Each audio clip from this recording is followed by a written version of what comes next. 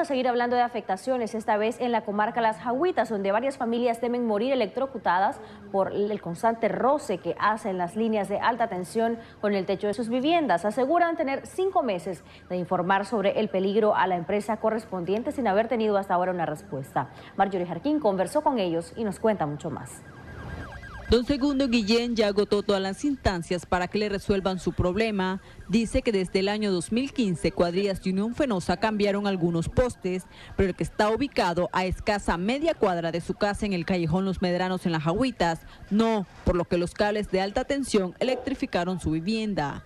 De que número uno, si uno tuviera mi centavito, yo, yo ya, esto ya se me hubiera quemado a mí, ya hizo cortocircuito. Fui a, a Cinza a comprar eh, paneles plásticos eh, guarda retenida para forrar los, los, cables y evitar y aislar pues el, cortocircuito.